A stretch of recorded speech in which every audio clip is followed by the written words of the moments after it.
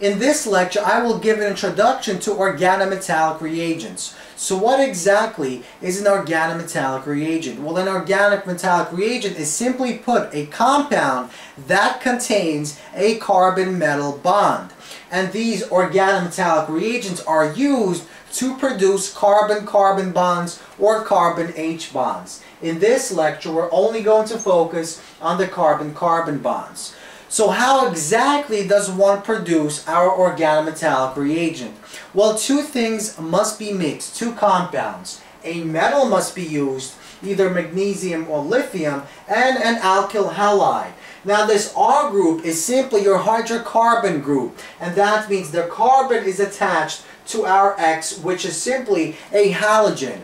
Now it's important for the X not to be fluorine. So the X can either be chlorine, bromine, or iodine. That's because fluorine is very electronegative and it binds very tightly. It creates very strong bonds with carbon atoms. So that means if we use fluorine, this reaction won't readily take place because this bond will not break. Now, when we combine these two reagents, these two compounds, in a solvent, the solvent must be ether. Ether stabilizes the product. Later, we'll see that if we use a polar solvent, such as water, the organometallic reagent will break. It will dissociate, and we'll see why later. So, when these two reagents are used, we produce the following two compounds. So if magnesium is used, the following organometallic reagent is produced boxed in in purple. And so we have the R group, the carbon Mg bond. So this is our carbon metal bond.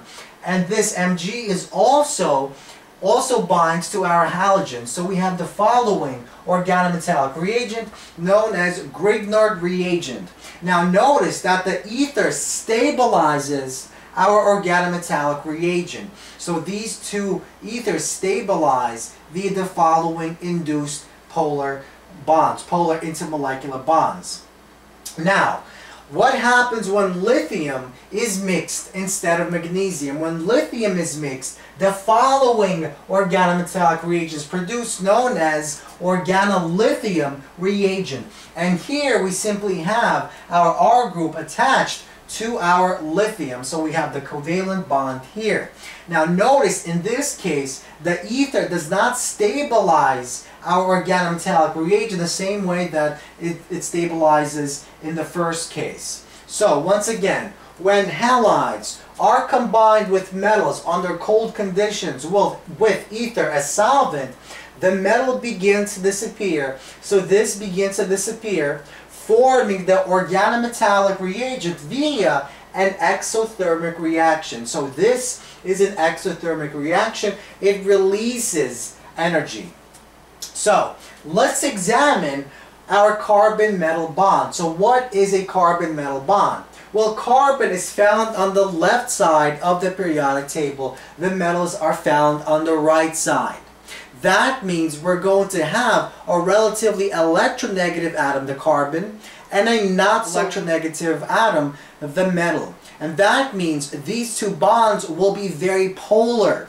In fact, we'll look, if we look at the resonance forms for these two organometallic reagents, we see the following happen.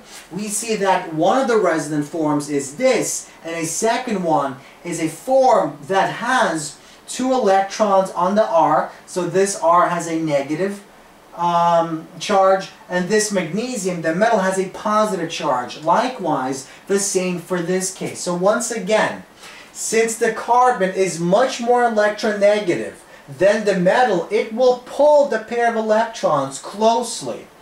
This results in a highly polar reagent that acts as a strong Lewis acid, Lewis base. So once again, because our carbon is so much more electronegative, it pulls those electrons more strongly than our metal does.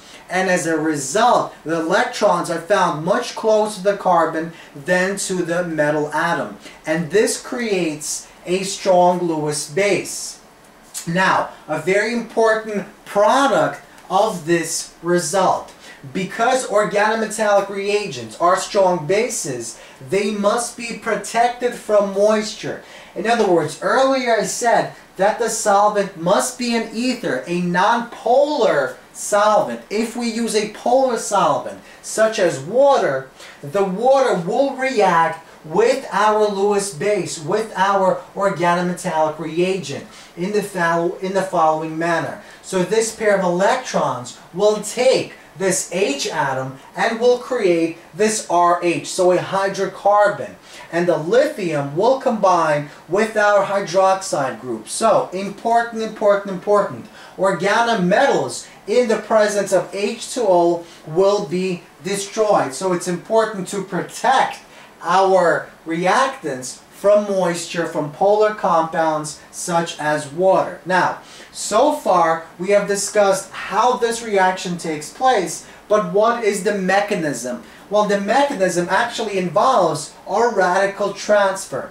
In other words, one of the electron breaks off and goes onto the R, the second electron breaks off and goes onto the X, and one of the electrons from magnesium combines to form a bond. So we have a covalent bond between magnesium and the halogen, and the magnesium has a spare electron. It has one electron. And now, this electron combines with this electron to form our final product, the organometallic reagent, in this case, the Grignard reagent.